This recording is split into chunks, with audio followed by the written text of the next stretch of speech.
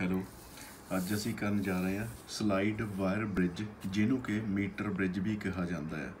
So first of all ਇਹਦੀਆਂ, ਇਹਦੇ ਬਹੁਤ ਸਾਰੇ ਕੁਐਸਚਨ ਇਹ ਇੱਕ ਬਹੁਤ ਹੌਟ ਟੌਪਿਕ ਆ। ਇਹਦੇ ਨੰਬਰ ਆਫ ਕੁਐਸਚਨਸ ਜਿਹੜੇ ਆ, ਉਹ ਫਾਈਨਲ ਐਗਜ਼ਾਮ ਦੇ ਵਿੱਚ ਦੇਖਣ ਨੂੰ ਮਿਲ ਜਾਂਦਾ, ਹਰੇਕ ਵਾਰੀ ਦੇਖਣ ਨੂੰ ਮਿਲ ਜਾਂਦਾ, ਚਾਹੇ ਕੰਪਾਰਟਮੈਂਟ ਦਾ ਹੋਵੇ ਤੇ ਚਾਹੇ ਸਾਡਾ ਫਾਈਨਲ ਐਗਜ਼ਾਮ ਹੋਵੇ। ਇਹਨਾਂ ਦੇ ਵਿੱਚੋਂ ਕੁਝ ਇਹ ਬਹੁਤ ਹੌਟ ਟੌਪਿਕ ਹੈ। ਸੋ ਫਸਟ ਆਫ ਆਲ ਅਸੀਂ ਇਹਦੀ ਕੰਸਟਰਕਸ਼ਨ ਬਾਰੇ ਜਾਣਕਾਰੀ ਲੈਣੇ ਆ ਸਭ ਤੋਂ ਪਹਿਲਾਂ ਇਹ ਕੀ ਹੁੰਦਾ? ਇੱਕ ਵੁਡਨ ਬੋਰਡ ਵੁਡਨ ਬੋਰਡ ਹੁੰਦਾ ਜਿਹਦੇ ਉੱਤੇ ਸਲਾਈਡ ਵਾਇਰ ਬ੍ਰਿਜ ਨੂੰ ਬਣਾਇਆ ਜਾਂਦਾ ਹੈ। ਮੈਂ ਤੁਹਾਨੂੰ ਪਹਿਲਾਂ ਬਣਾ ਕੇ ਦਿਖਾ ਦਿੰਦਾ। ਤੇ ਹੁਣ ਦੇਖੋ, ਇਹਦੇ ਉੱਪਰ ਕੀ ਹੈਗੀਆਂ? ਇਹ ਮੈਟਲ ਦੀਆਂ ਸਟ੍ਰਿਪਸ ਆ। ਇਸ ਤਰੀਕੇ ਨਾਲ ਅਸੀਂ ਸਟ੍ਰਿਪਸ ਡਰਾ ਕਰ ਲੈਣੀਆਂ ਮੈਟਲ ਦੀਆਂ। ਇਹ ਹੋ ਗਈਆਂ ਸਾਡੀਆਂ ਸਟ੍ਰਿਪਸ ਹੋ ਗਈਆਂ। ਤੇ ਇਹਨੂੰ ਹੁਣ ਮੀਟਰ ਬ੍ਰਿਜ ਕਹਿਣ ਦਾ ਇੱਕ ਰੀਜ਼ਨ ਆ। ਮੀਟਰ ਬ੍ਰਿਜ ਕਹਿਣ ਦਾ ਰੀਜ਼ਨ ਕੀ ਆ? ਕਿ ਇਹਦੇ ਵਿੱਚ ਇੱਕ ਮੀਟਰ ਦਾ ਸਕੇਲ ਲੱਗਾ ਹੁੰਦਾ ਹੈ, ਜਿਹੜਾ 1 metre is equal to 100 centimetre ਠੀਕ ਹੈ 100 ਸੈਂਟੀਮੀਟਰਸ ਸੋ ਇਹਨੂੰ ਕੀ ਕਰਨਾ ਸੀ? ਇਹਨੂੰ ਡਰਾ ਕਰ ਲੈਣਾ। ਜਿਵੇਂ ਕਿ ਇੱਥੇ 10 ਸੈਂਟੀਮੀਟਰ ਹੋ ਗਿਆ ਇੱਥੇ 20 ਹੋ ਗਿਆ ਇੱਥੇ 30 ਹੋ ਗਿਆ ਇੱਥੇ 40 ਹੋ ਗਿਆ 50 ਹੋ ਗਿਆ ਤੇ ਸੋ ਔਨ ਇਸ ਤਰੀਕੇ ਨਾਲ ਇਹ 100 ਸੈਂਟੀਮੀਟਰਸ ਤੱਕ ਜਾਂਦਾ ਹੈ। ਠੀਕ ਹੈ ਜੀ? ਤੇ ਹੁਣ ਨੈਕਸਟ ਕੀ ਹੋਣਾ? ਇਹ ਜਿੱਦਾਂ ਹੁਣ ਅਸੀਂ ਸਟ੍ਰਿਪਸ ਡਰਾ ਕਰ ਲਈਆਂ, ਇਹ ਮੈਟਲ ਦੀਆਂ ਸਟ੍ਰਿਪਸ ਆ। ਤੇ ਇਸ ਤੋਂ ਬਾਅਦ ਵਿੱਚ ਇੱਕ ਆਹ ਪੁਆਇੰਟ ਹੋ ਗਿਆ, ਇੱਕ ਆਹ ਪੁਆਇੰਟ ਹੋ ਗਿਆ। ਇਹਦੇ ਵਿੱਚ, ਇਹਨਾਂ ਦੋ ਪੁਆਇੰਟਸ ਦੇ ਵਿੱਚ ਇੱਕ ਰੈਜ਼ਿਸਟੈਂਸ ਬਾਕਸ ਆਰ ਲੱਗਾ ਹੋਇਆ ਹੈ, ਜਿਹਨੂੰ ਕਿ ਅਸੀਂ ਕੰਟਰੋਲ ਕਰ ਸਕਦੇ ਹਾਂ।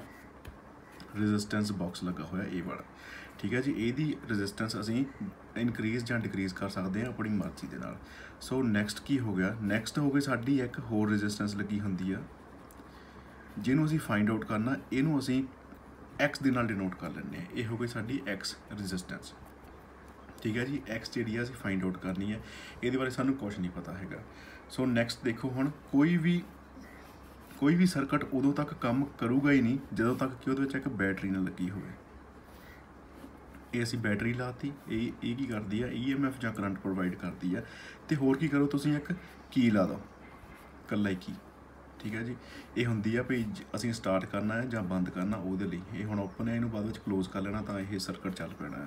ਸੋ ਨੈਕਸਟ ਦੇਖੋ, ਹੁਣ ਨੈਕਸਟ ਕੀ ਆ? ਇਹਦੇ ਵਿੱਚ ਜੋ ਸਭ ਤੋਂ ਇੰਪੋਰਟੈਂਟ ਚੀਜ਼ ਬਣਦੀ ਆ, ਉਹ ਹੈਗੀ ਆ ਇੱਕ ਜੋਕੀ ਇਹ ਪੁਆਇੰਟ ਹੈ ਇੱਕ। ਠੀਕ ਹੈ ਇਸ ਪੁਆਇੰਟ ਨੂੰ ਅਸੀਂ ਡੀ ਮਾਰਕ ਕਰਨਾ। ਇਸ ਪੁਆਇੰਟ ਤੋਂ ਇੱਕ ਤਾਰ ਆ, ਤਾਰ ਨਿਕਲਦੀ ਆ। ਤੇ ਤਾਰ ਦੇ ਵਿੱਚ ਹੁਣ ਕੀ ਹੈ ਇੱਕ ਗਲਵੈਨੋਮੀਟਰ ਦੇ ਨਾਲ ਅਟੈਚ ਹੁੰਦੀ ਆ ਵਾਇਰ ਇਹ ਵਾਲੀ। ਗਲਵੈਨੋਮੀਟਰ ਦੇ ਨਾਲ ਵਾਇਰ ਅਟੈਚ ਹੁੰਦੀ ਆ। ਤੇ ਇਹ ਕੀ ਕਰਦੀ ਆ? ਇਸ ਜਗ੍ਹਾ ਦੇ ਉੱਤੇ ਆ ਕੇ ਪੁਆਇੰਟ ਅਸੀਂ ਰੱਖਦੇ ਹਾਂ। ਹੁਣ ਦੇਖੋ, ਇਹਨੂੰ ਜੋਕੀ ਜੋਕੀ ਦਾ ਮਤਲਬ ਕੀ ਹੈ? ਇਹ ਇੱਕ ਮੂਵੇਬਲ ਚੀਜ਼ ਹੈ।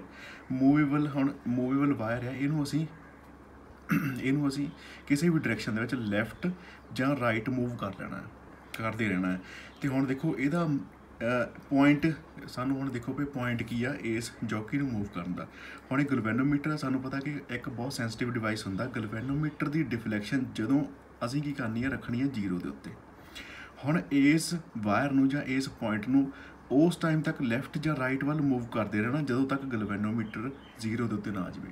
ਜਦੋਂ ਗਲਵੈਨੋਮੀਟਰ ਜਿਹੜਾ ਆ ਗਲਵੈਨੋਮੀਟਰ ਜ਼ੀਰੋ ਹੋ ਗਿਆ ਤਾਂ ਇਹਦਾ ਮਤਲਬ ਕੀ ਹੋ ਗਿਆ? ਉਹ ਬੈਲੈਂਸਡ ਹੋ ਗਿਆ।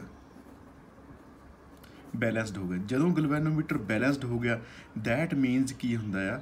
ਕਿ ਸਾਡੀ ਵੀਟ ਸਟੋਨ ਬ੍ਰਿਜ ਦੀ ਫਾਰਮੇਸ਼ਨ ਬਣ ਜਾਂਦੀ ਹੈ ਕਿਉਂਕਿ ਇਹ ਜਿਹੜਾ ਮੀਟਰ ਬ੍ਰਿਜ ਆ, ਇਹਨੂੰ ਇਹ ਪ੍ਰਿੰਸੀਪਲ ਆਫ ਵੀਟਸਟੋਨ ਬ੍ਰਿਜ ਦੇ ਉੱਤੇ ਹੀ ਕੰਸਟਰਕਟਡ ਹੁੰਦਾ ਹੈ। ਇਹਦੇ ਉੱਤੇ ਹੀ ਬਣਾਇਆ ਜਾਂਦਾ ਹੈ। ਤੇ ਵੀਟਸਟੋਨ ਬ੍ਰਿਜ ਦਾ ਪ੍ਰਿੰਸੀਪਲ ਕੀ ਕਹਿੰਦਾ ਹੈ?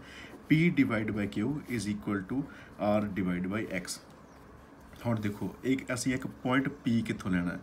ਦੇਖੋ, ਇੱਥੇ ਜਿੱਥੇ ਤੱਕ ਸਾਡਾ ਗਲਵੈਨੋਮੀਟਰ ਦੀ ਡਿਫਲੈਕਸ਼ਨ ਜੋ ਹੈ ਜ਼ੀਰੋ ਹੋ ਗਈ ਹੈ। ਇਸ ਜਗ੍ਹਾ ਤੋਂ ਲੈ ਕੇ ਇਸ ਪੁਆਇੰਟ ਤੱਕ ਇਹ ਸਾਰੀ ਦੀ ਸਾਰੀ ਲੈਂਥ ਨੂੰ ਅਸੀਂ P ਮਾਰਕ ਕਰ ਲੈਣਾ ਤੇ ਸਿਮਿਲਰਲੀ ਦੂਜੇ ਪਾਸੇ ਦੀ ਡਾਇਰੈਕਸ਼ਨ ਨੂੰ ਦੂਜੇ ਪਾਸੇ ਦੀ ਲੈਂਥ ਨੂੰ ਅਸੀਂ ਮਾਰਕ ਕਰ ਲੈਣਾ Q ਠੀਕ ਹੈ ਜੀ?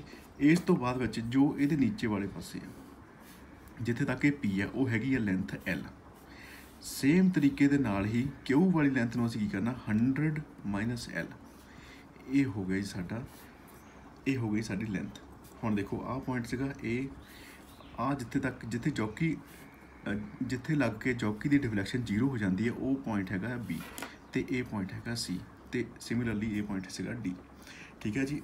ਇਹ ਚੀਜ਼ ਹੁਣ ਸਾਡੀ ਬੀਟ ਸਟੋਨ ਬ੍ਰਿਜ ਨੂੰ ਰਿਪਰੈਜ਼ੈਂਟ ਕਰਦੀ ਹੈ। ਇਹ ਹੈਗਾ ਸੀਗਾ ਸਾਡਾ ਵੁਡਨ ਬਾਕਸ ਇਹ ਕਿਉਂਕਿ ਵੁਡਨ ਬਾਕਸ ਦੇ ਉੱਤੇ ਬਣਾਈ ਜਾਂਦੀ ਹੈ। ਹੁਣ ਦੇਖੋ। ਇਹ ਮੈਂ ਤੁਹਾਡੇ ਲਈ ਆਲਰੇਡੀ ਇੱਕ ਡਰਾ ਕੀਤਾ ਹੋਇਆ ਸੀਗਾ ਬੀਟਸਟੋਨ ਬ੍ਰਿਜ ਤੇ ਹੁਣ ਦੇਖੋ ਆਰ ਜਿਹੜੀ ਸਾਡੀ ਰੈਜ਼ਿਸਟੈਂਸ ਬਾਕਸ ਸੀ ਐਕਸ ਅਨਨੋਨ ਰੈਜ਼ਿਸਟੈਂਸ ਕਿਤੇ ਪ੍ਰਿੰਸੀਪਲ ਹੁੰਦਾ ਬੀਟਸਟੋਨ ਬ੍ਰਿਜ ਦੇ ਬੀਟਸਟੋਨ ਬ੍ਰਿਜ ਦੇ ਪ੍ਰਿੰਸੀਪਲ ਦੇ ਉੱਤੇ ਇਹ ਕੰਮ ਕਰਦਾ ਹੈ, ਜੋ ਕਿ ਹੁੰਦਾ P divide by Q R divide by X ਤੇ ਹੁਣ ਇਹਦੀਆਂ ਐਪਲੀਕੇਸ਼ਨਸ ਕੀ ਆ? ਕਿਉਂਕਿ ਹੁਣ ਅਪਲਾਈ ਤਾਂ ਅਸੀਂ ਕਿਤੇ ਨਾ ਕਿਤੇ ਕਰਨਾ ਹੀ ਆ। ਸਭ ਤੋਂ ਪਹਿਲਾਂ ਹੀ ਐਪਲੀਕੇਸ਼ਨ ਕੀ ਆ? To measure an unknown resistance unknown resistance ਕੀ, ਕਿਹਨੂੰ ਅਸੀਂ ਕਹਿੰਦੇ ਉਹ ਹੈਗੀ ਹੈ X, ਜੋ ਕਿ ਸਾਡੀ ਇਸ ਜਗ੍ਹਾ ਦੇ ਉੱਤੇ ਅਸੀਂ ਪਲੇਸ ਕਰਦੇ ਹਾਂ। ਕਿਉਂਕਿ ਆਰ ਜੋ ਆ, R ਕੀ ਆ? R ਇੱਕ ਰੈਜ਼ਿਸਟੈਂਸ ਬਾਕਸ ਹੁੰਦਾ, ਇਹਨੂੰ ਅਸੀਂ ਆਪਣੀ ਮਰਜ਼ੀ ਦੇ ਨਾਲ ਵਧਾ ਜਾਂ ਘਟਾ ਸਕਦੇ ਹੁੰਦੇ ਹਾਂ। ਬਾਕੀ ਦੀ ਇਨਫੋਰਮੇਸ਼ਨ ਤੁਹਾਨੂੰ ਮੈਂ ਦੱਸੇ ਦਿੱਤੀ ਹੈ ਦੂਜਾ ਕੀ ਆ, ਅਸੀਂ ਕੀ ਕਰਨਾ ਹੈ? ਕੰਪੇਅਰ ਕਰਨਾ ਦੋ ਅਨਨੋਨ ਰੈਜ਼ਿਸਟੈਂਸਸ ਨੂੰ। ਦੋ ਅਨਨੋਨ ਰੈਜ਼ਿਸਟੈਂਸਸ ਨੂੰ ਹੁਣ ਆਪਾਂ ਕਿੱਦਾਂ ਕਰਨਾ ਕੰਪੇਅਰ x ਦੀ ਜਗ੍ਹਾ ਤੇ ਪਹਿਲਾਂ ਇੱਕ ਰੈਜ਼ਿਸਟੈਂਸ ਲਾ ਦਿਓ, ਉਹਨੂੰ ਮੈਜਰ ਕਰ ਲਓ। ਫਿਰ ਕੀ ਕਰਨਾ ਦੂਜੀ ਰੈਜ਼ਿਸਟੈਂਸ ਲਾ ਕੇ ਫਿਰ ਉਹਨੂੰ ਮੈਜ਼ਰ ਕਰੋ। ਤੇ ਫਿਰ ਉਸ ਤੋਂ ਬਾਅਦ ਦੋਨਾਂ ਦਾ ਕੰਪੈਰੀਜ਼ਨ ਕਰ ਲਓ। ਤੇ ਹੁਣ ਥਰਡ ਐਪਲੀਕੇਸ਼ਨ ਕੀ ਹੈ ਟੂ ਮੈਜ਼ਰ ਦਾ ਅਨਨੋਨ ਟੈਂਪਰੇਚਰ ਇਹੀ ਰੈਜ਼ਿਸਟੈਂਸ ਜਿਹੜੀ ਐਕਸ ਆ, ਜਾਂ ਕੋਈ ਵੀ ਇੱਥੇ ਰੈਜ਼ਿਸਟੈਂਸ ਲਾ ਲਓ, ਉਹਦਾ ਟੈਂਪਰੇਚਰ 0 ਦੇ ਉੱਤੇ ਤੇ 100 ਦੇ ਉੱਤੇ ਕਿੱਦਾਂ ਵੇਰੀ ਕਰਦਾ ਹੈ? ਇਹ ਅਸੀਂ ਮੈਜ਼ਰ ਕਰਨਾ ਹੁਣ। ਹੁਣ ਫਰਸਟ ਕੇਸ ਅਸੀਂ ਦੇਖਦੇ ਹਾਂ to measure an unknown resistance X ਹੁਣ ਦੇਖੋ ਸੇਮ ਤਰੀਕੇ ਦੇ ਨਾਲ ਹੀ ਇਹਦੇ ਵਿੱਚ ਹੀ ਸਾਨੂੰ ਪਤਾ ਹੈ ਕਿ p ਜੋ ਹੈ, p is directly proportional to length l ਦੇ। ਠੀਕ ਹੈ ਜੀ। ਸੇਮ ਤਰੀਕੇ ਦੇ ਨਾਲ ਹੀ q directly proportional to length ਕਾਦੇ ਆ? L minus sorry 100 minus l ਦੇ। ਇਦਾਂ ਹੀ ਹੈ ਜੀ। ਤੇ ਹੁਣ ਦੇਖੋ, ਇਹ ਹੈਗਾ ਡਾਇਰੈਕਟਲੀ ਪ੍ਰੋਪੋਰਸ਼ਨਲ ਟੂ ਹੁਣ ਸਾਨੂੰ ਬੀਟਸਟੋਨ ਬ੍ਰਿਜ ਦਾ ਫਾਰਮੂਲਾ ਪਤਾ ਹੀ ਹੈ। P divide by q is equal to ਕੀ ਹੋ ਗਿਆ? L ਓਵਰ 100 ਮਾਈਨਸ l ਠੀਕ ਹੈ। ਬਟ ਹੁਣ ਅਸੀਂ ਆਲਰੇਡੀ ਕਰਕੇ ਹਟੇ ਆ ਕਿ p divide by q is equal to r by x ਦੇ ਬਰਾਬਰ ਹੁੰਦਾ ਹੈ। ਸੋ ਅਸੀਂ ਕੀ ਕਰਨਾ, ਇਹਦੀਆਂ ਦੋਨਾਂ ਦੀਆਂ left hand sides left hand side ਜੋ ਆ, ਇਹ ਬਰਾਬਰ ਹੈ, ਇਸ ਕਰਕੇ ਅਸੀਂ ਰਾਈਟ ਹੈਂਡ ਸਾਈਡਸ ਨੂੰ ਬਰਾਬਰ ਇਕੁਏਟ ਕਰ ਦੇਣਾ। ਸੋ ਇੱਥੋਂ ਕੀ ਸਾਡੇ ਕੋਲ ਬਣ ਗਿਆ? R divide by x is equal to l over 100 minus l r ਦੇ ਬਾਰੇ ਸਾਨੂੰ ਪਤਾ ਹੀ ਹੈ, ਇਹ ਕੀ ਹੈਗੀ ਹੈ ਇੱਕ ਰੈਜ਼ਿਸਟੈਂਸ ਰੈਜ਼ਿਸਟੈਂਸ ਬਾਕਸ ਸੀਗਾ ਜੋ ਕਿ ਸਾਡੀ ਆਪਣੀ ਮਰਜ਼ੀ ਦੇ ਨਾਲ ਅਸੀਂ ਵੇਰੀ ਕੀਤਾ ਸੀ ਤਾਂ ਕਿ ਗੈਲਵੇਨੋਮੀਟਰ ਦੀ ਡਿਫਲੈਕਸ਼ਨ ਜ਼ੀਰੋ ਹੋ ਜਾਵੇ। ਠੀਕ ਹੈ, ਹੁਣ ਨੈਕਸਟ ਅਸੀਂ ਕੀ ਕਰਨਾ ਹੈ? ਅਸੀਂ ਇਹਨਾਂ ਨੂੰ ਹੁਣ ਰੈਸੀਪਰੋਕੇਟ ਕਰ ਲਓ। X ਇਜ਼ ਇਕੁਅਲ ਟੂ ਕੀ ਬਣ ਗਿਆ? 100 minus l divide by l into r ਇਹ ਸਾਡੇ ਕੋਲ ਹੁਣ ਕੀ ਆ? ਅਨਨੋਨ ਰੈਜ਼ਿਸਟੈਂਸ ਦੀ ਵੈਲਿਊ ਆ ਗਈ, ਜੋ ਕਿ ਸਾਡਾ ਸੀਗਾ ਪਹਿਲਾ case to measure an unknown resistance ਹੁਣ ਦੇਖੋ ਸਿਮਿਲਰਲੀ ਦੂਜੇ ਪਾਸੇ। ਸੈਕੰਡ ਕੇਸ ਕੀ ਸੀਗਾ ਸਾਡੇ ਕੋਲ? To compare two unknown resistances ਦੋ ਅਨਨੋਨ ਰੈਜ਼ਿਸਟੈਂਸਸ ਅਸੀਂ ਕੰਪੇਅਰ ਕਰਨੀਆਂ ਹੈ। ਇਹ ਮੈਂ ਤੁਹਾਡੀ ਤੁਹਾਨੂੰ ਪਹਿਲੇ ਡਾਇਗਰਾਮਸ ਬਣਾਈਆਂ ਹੋਈਆਂ ਹੈ। ਹੁਣ ਪਹਿਲਾਂ ਅਸੀਂ ਕੀ ਕਰਨਾ ਹੈ? ਸੇਮ ਤਰੀਕੇ ਦੇ ਨਾਲ ਜਿੱਥੇ x ਸੀਗੀ, ਉੱਥੇ r1 ਨੂੰ ਅਸੀਂ ਲਿਖ ਲੈਣਾ ਹੈ। R1 ਲਿਖਣਾ ਇੱਥੇ r1 ਇੱਕ ਰੈਜ਼ਿਸਟੈਂਸ ਹੋ ਗਈ। ਹੁਣ ਦੂਜੀ ਡਾਇਗਰਾਮ ਦੇ ਵਿੱਚ ਅਸੀਂ ਕੀ ਕਰਨਾ ਹੈ? ਦੂਜੀ ਡਾਇਗਰਾਮ ਦੇ ਵਿੱਚ ਅਸੀਂ ਜਿੱਥੇ ਪਹਿਲਾਂ x ਸੀਗਾ, ਉੱਥੇ ਹੁਣ r2 ਲਿਖ ਲਿਆ। ਦੋਨਾਂ ਨੂੰ ਅਸੀਂ ਕੰਪੇਅਰ ਕਰ ਲੈਣਾ। ਹੁਣ ਦੇਖੋ ਇਦਾਂ ਹੀ ਕਰਦੇ ਹਾਂ। ਹੁਣ ਦੇਖੋ ਜੀ ਕੀ ਹੋ ਗਿਆ ਇਹਦੇ ਵਿੱਚ। ਅਸੀਂ ਸਭ ਤੋਂ ਪਹਿਲਾਂ ਪਹਿਲੇ ਕੇਸ ਦੀ ਕਰਦੇ ਹਾਂ, ਜੋ ਕਿ ਸੀਗਾ R1 ਦਾ ਕੇਸ ਠੀਕ ਹੈ ਜੀ? R1 ਦੇ ਕੇਸ ਦੇ ਵਿੱਚ ਅਸੀਂ ਕੀ ਕਰਨਾ ਹੈ ਕਿ P ਡਿਵਾਈਡ ਬਾਈ Q, ਜੋ ਕਿ ਇੱਥੋਂ ਸੀਗਾ ਸਾਡੇ ਕੋਲ P ਐਂਡ Q ਸੀਗਾ, ਤੇ P and Q is equal to ਕਾਹਦੇ ਬਰਾਬਰ ਹੋਣਾ ਹੈਗਾ? L1 ਡਿਵਾਈਡ ਬਾਈ 100 ਮਾਈਨਸ L1 ਦੇ, ਕਿਉਂਕਿ P ਡਾਇਰੈਕਟਲੀ ਪ੍ਰੋਪੋਰਸ਼ਨਲ ਸੀਗਾ L1 ਦੇ ਐਂਡ Q ਡਾਇਰੈਕਟਲੀ ਪ੍ਰੋਪੋਰਸ਼ਨਲ ਸੀਗਾ 100 ਮਾਈਨਸ L1 ਦੇ ਠੀਕ ਹੈ ਜੀ? ਨੈਕਸਟ ਹੁਣ ਸਾਡੇ ਕੋਲ ਕੀ ਹੋ ਗਿਆ? ਬਟ ਇਹੀ P ਐਂਡ Q ਬਰਾਬਰ ਕਾਦੇ ਸੀਗਾ?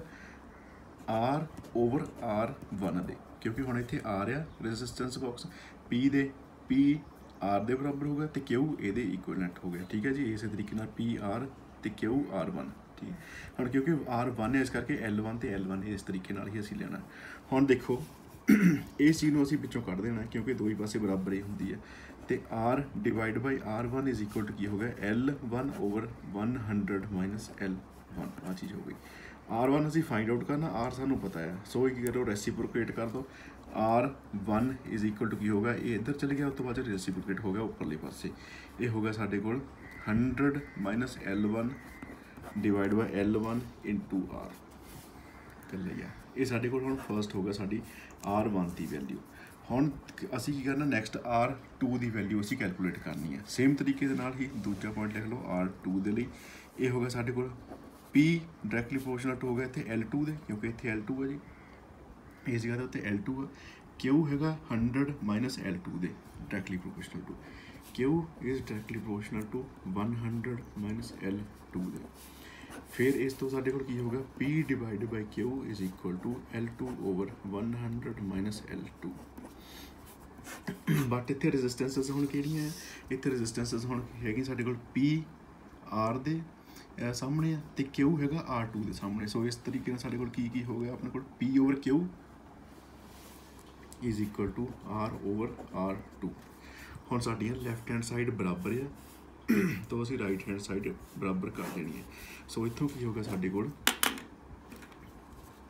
R over R2 is equal to L2 over 100 minus length 2 ਠੀਕ ਹੈ ਜੀ, ਇਹਨੂੰ ਫੇਰ ਰੈਸਿਪਰੋਕੇਟ ਕਰੋ। ਹੁਣ ਜਦੋਂ ਇਹ ਉੱਪਰ ਚਲੇ ਜਾਣੀ ਹੈ ਤਾਂ R2 ਉੱਪਰ ਆ ਜਾਣੀ ਹੈ ਤੇ into 100 ਮਾਈਨਸ L2 ਹੋ ਗਿਆ ਡਿਵਾਈਡ ਵਿੱਚ ਹੋ ਗਿਆ L2 ਤੇ ਆਰ ਇੱਥੇ ਨੀਚੇ ਆ ਜਾਣੀ ਤੇ ਉਹ ਦੂਜੇ ਪਾਸੇ ਆ ਕੇ ਮਲਟੀਪਲਾਈ ਹੋ ਗਈ। ਇਹ ਸਾਡੇ ਕੋਲ ਆ ਗਿਆ R2 ਦਾ ਫਾਰਮੂਲਾ ਠੀਕ ਹੈ ਜੀ?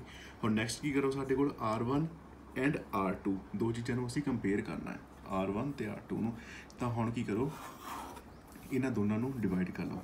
R1 divide by R2 is equal to ਕੀ ਹੋਗਾ ਹੁਣ ਸਾਰਾ ਫਾਰਮੂਲਾ R1 ਦਾ। R 100 minus L1 divide by L1 R2 ਦਾ ਫਾਰਮੂਲਾ ਸੇਮ ਤਰੀਕੇ ਨਾਲ ਰੈਸੀਪੋ ਰੈਸੀਪ੍ਰੋਕੇਟ ਕਰਕੇ L2 over R 100 minus L2 R ਦੇ ਨਾਲ R ਕੈਨਸਲ ਹੋ ਗਿਆ ਤੇ ਸਾਡੇ ਕੋਲ ਹੁਣ ਨੈਕਸਟ ਸਾਡੇ ਕੋਲ ਕੀ ਬਚਿਆ ਜੀ ਨੈਕਸਟ ਸਾਡੇ ਕੋਲ ਬਚਿਆ ਹੈਗਾ L2 divide by L1 into 100 minus L1 over 100 minus L2 ਇਹ ਸਾਡਾ ਆਇਆ ਜੀ ਕੰਪੈਰੀਜ਼ਨ ਇਹ ਸਾਡਾ ਆਇਆ ਕੰਪੈਰੀਜ਼ਨ ਦੋ ਅਨਨੋਨ ਰੈਜ਼ਿਸਟੈਂਸਸ ਦਾ। ਦੋ ਅਨਨੋਨ ਰੈਜ਼ਿਸਟੈਂਸਸ ਦਾ ਕੰਪੈਰੀਜ਼ਨ ਸਾਡੇ ਕੋਲ ਆ ਗਿਆ ਹੁਣ ਨੈਕਸਟ ਦੇਖੋ। ਨੈਕਸਟ ਅਸੀਂ ਕੀ ਕਰਨਾ? ਤੇ ਨੈਕਸਟ ਸਾਡੇ ਕੋਲ ਸੀਗਾ ਟੂ ਮੇਜਰ ਅਨਨੋਨ ਟੈਂਪਰੇਚਰ ਹੁਣ ਦੇਖੋ ਅਨਨੋਨ ਟੈਂਪਰੇਚਰ ਜਿਹੜਾ ਹੁਣ ਸਮਝ ਲਓ ਵੀ ਸਾਡੇ ਕੋਲ x, ਸਾਡੇ ਕੋਲ x ਜਿਹੜੀ ਆ ਰੈਜ਼ਿਸਟੈਂਸ ਆ। ਇਹਦਾ ਟੈਂਪਰੇਚਰ ਇਹਦਾ ਟੈਂਪਰੇਚਰ ਅਸੀਂ ਮੈਜ਼ਰ ਕਰਨਾ। ਹੁਣ ਫਰਸਟ ਆਫ ਆਲ ਸਭ ਤੋਂ ਪਹਿਲਾਂ ਕੀ ਕਰੋ ਕਿ x ਨੂੰ, x ਜੋ ਰੈਜ਼ਿਸਟੈਂਸ ਹੈ ਨਾ, ਇਹਨੂੰ ਕੀ ਕਰੋ, ਕਿਸੇ ਆਈਸ ਬਾਕਸ ਵਿੱਚ ਜਾਂ ਕਿਸੇ ਵੀ ਇਦਾਂ ਦੀ ਜਗ੍ਹਾ ਦੇ ਉੱਤੇ ਰੱਖ ਦਿਓ ਜਿੱਥੇ ਕਿ ਇਹਦਾ ਟੈਂਪਰੇਚਰ ਕੀ ਹੋ ਜਾਵੇ 0 ਡਿਗਰੀ ਸੈਂਟੀਗ੍ਰੇਡ ਹੋ ਜਾਵੇ।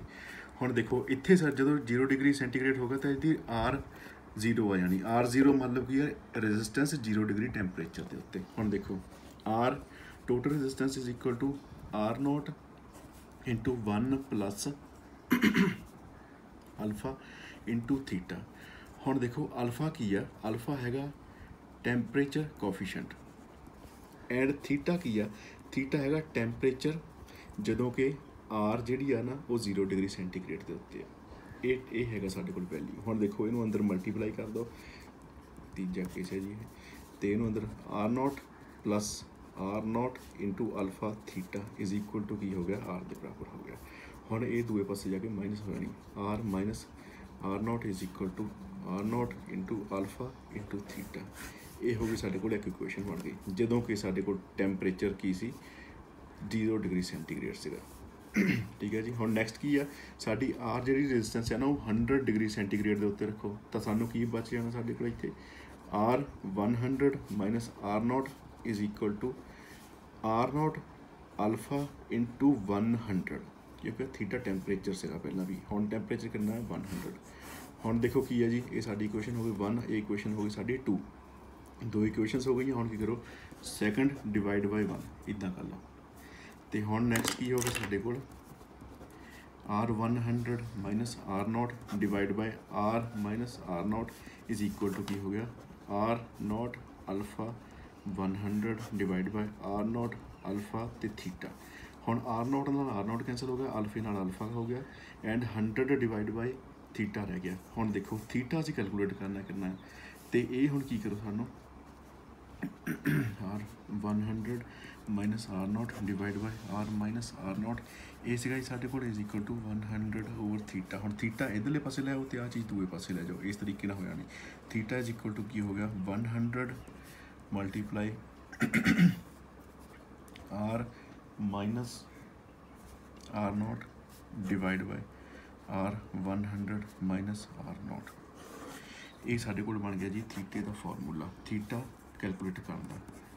ਹੁਣ ਇਹਦੀ ਐਪਲੀਕੇਸ਼ਨ ਕੀ ਆ? ਇਹ ਜਿਹੜੀਆਂ ਅਨਨੋਨ ਟੈਂਪਰੇਚਰ ਨੂੰ ਮੈਜ਼ਰ ਕਰਨ ਵਾਲੀਆਂ ਐਪਲੀਕੇਸ਼ਨਸ ਇਹ ਹੈਗੀਆਂ ਹੌਟ ਜਿਹੜੇ ਹੌਟ ਸ਼ਾਵਰ ਹੁੰਦੇ ਜਾਂ ਹੌਟ ਟੱਬ ਹੁੰਦੇ ਆ, ਉਹਨਾਂ ਦੇ ਵਿੱਚ ਅਸੀਂ ਇਸ ਚੀਜ਼ ਨੂੰ ਯੂਜ਼ ਕਰਦੇ ਹਾਂ ਤਾਂ ਕਿ ਅਸੀਂ ਟੈਂਪਰੇਚਰ ਨੂੰ ਰੈਗੂਲੇਟ ਕਰ ਸਕੀਏ। ਠੀਕ ਹੈ ਜੀ? ਸੋ ਇਸ ਤਰੀਕੇ ਦੀਆਂ ਹੋਰ ਵੀਡੀਓਜ਼ ਦੇ ਲਈ ਤੁਸੀਂ ਸਬਸਕ੍ਰਾਈਬ ਕਰੋ ਮੇਰਾ ਚੈਨਲ ਜੋ ਕਿ ਹੈ wisdom education point R D C so subscribe ਕਰੋ ਫੋਲੋ ਕਰੋ ਲਾਈਕ ਕਰੋ। So thank you